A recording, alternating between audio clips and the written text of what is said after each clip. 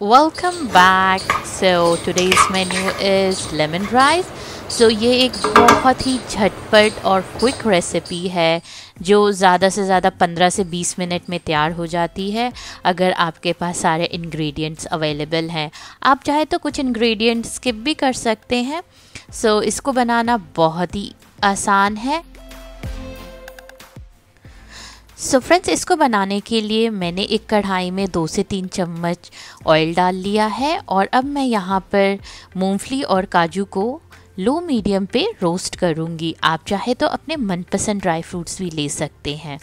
ध्यान रखिएगा आप इनको लो मीडियम पर ही रोस्ट कीजिएगा क्योंकि अगर हम हाई फ्लेम पे रोस्ट करेंगे तो ये जल जाएँगे।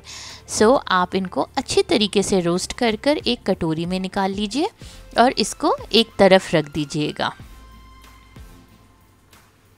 अब मैंने सेम कढ़ाई में ही जीरा और मस्टर्ड दोनों को डाल दिया है और मैं थोड़ा इसे क्रैकल लाने आने तक रखूँगी। अब ये देखिए कैसे ये क्रैक्स हो रहे हैं। अब मैंने यहाँ पर जिंजर और गाली का पेस्ट भी डाल दिया है और उसको एक से दो मिनट अच्छे से मिला लूँगी सो दैट उसका रॉ स्मेल चला जाए।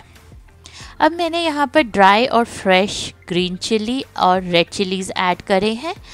आप चाहें तो स्किप भी कर सकते हैं। अब मैंने यहाँ पर चना दाल भी ले लिया है। और यहाँ पर मैंने उड़द दाल भी ऐड कर दिया है। अब आप इनको अच्छी तरीके से मीडियम फ्लेम पर ही भून लीजिएगा। ध्यान रखिए, इसे या तो आप लो इसे मीडियम पे ही बनाइएगा। अब मैंने यहाँ पर कुछ कड़ी पत्ता डाल दिया है। कड़ी पत्ता से इसका स्वाद बहुत ही अच्छा आता है तो इसको आप स्किप मत कीजिएगा। हो सके तो कड़ी पत्ता ज़रूर डालिएगा। जो फ्लेवर आता है लेमन राइस का, वो कड़ी पत्ता से बहुत ही अच्छा आता है। अब आप यहाँ पर आधा चम्मच टर्मरिक पाउडर डाल दीजिए और उसको अच्छे तरीके से भून लीजिए। क्योंकि टर्मरिक का वो स्मेल नहीं आना चाहिए तो आप इसको अच्छी तरीके से पका लीजिए दो से तीन मिनट। अब हम यहाँ पर सॉल्ट डालेंगे।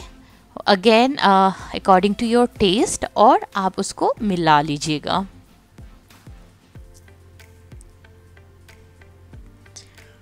मुझे तो इसकी खुशबू बहुत अच्छी आ रही है। सो आप सब इसको अपने घर पे एक बार ट्राई कीजिएगा। अब हम यहाँ पर लेमन ऐड करेंगे। मैंने यहाँ पर वन लेमन का जूस लिया है।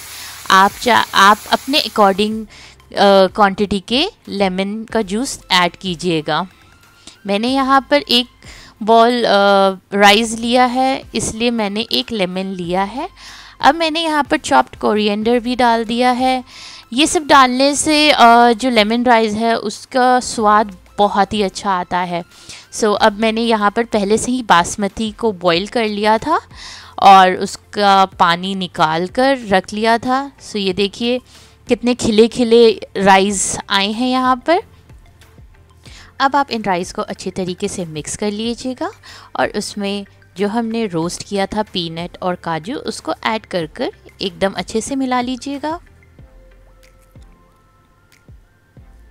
ये देखिए, मैं इसको अब लो मीडियम फ्लेम पर पाँच मिनट तक कुक करूँगी और हमारा लेमन राइस रेडी हो गया है। सो so फ्रेंड्स अगर आपको मेरा ये रेसिपी अच्छा लगा तो please like subscribe and hit the bell icon और शेयर भी कीजिएगा सो दैट ज़्यादा से ज़्यादा लोग मेरी रेसिपी देख पाएँ।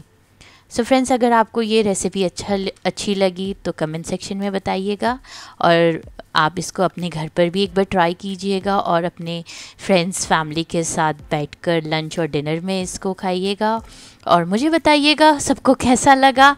सो so, अब हम नेक्स्ट वीडियो में मिलते हैं। तब तक के लिए thank you so much and be safe bye take care